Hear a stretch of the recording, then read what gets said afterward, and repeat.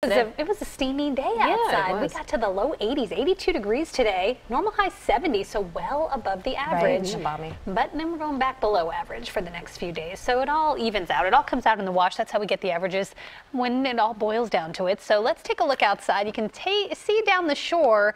We're seeing a little bit of light in the sky. The showers still staying well off to the west. But notice the surf is looking to get a little bit rough right now, and it's only going to get worse over the next couple of days. A new coastal low is going to spin up throughout the day tomorrow and really be offshore spinning just close to the New Jersey coastline on Wednesday.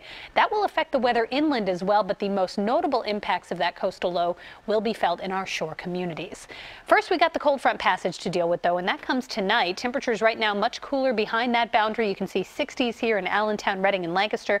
Meantime, 70s and still 80 in Dover, 80 degrees there, 77 in Wilmington, and 73 in Millville. You can see how much cooler it is behind that line of showers.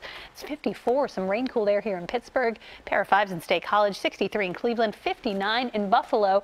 And that cooler air is going to settle in as we start tomorrow and really cool down on Wednesday and Thursday. But you can see the rain is still pretty far off to the west. So the remainder of this evening, at least in the city, is looking okay. The further north and west you go, the better chance you have of seeing a few showers through the next several hours. And that's where the steadiest downpours will likely be later tonight. So starting to pick up in intensity here over Berks County and the Lehigh Valley. This will all continue to move slowly eastward through the next six hours or so and likely get here into the city after about midnight and some steady rain possible overnight. But this system will be weakening. So a few scattered showers tomorrow morning. The front's offshore and instead of clearing us out and bringing high pressure in like it looked like it was going to do last week, now we've got this coastal low throwing a little wrinkle into the forecast. This low is going to sit and spin off the coast.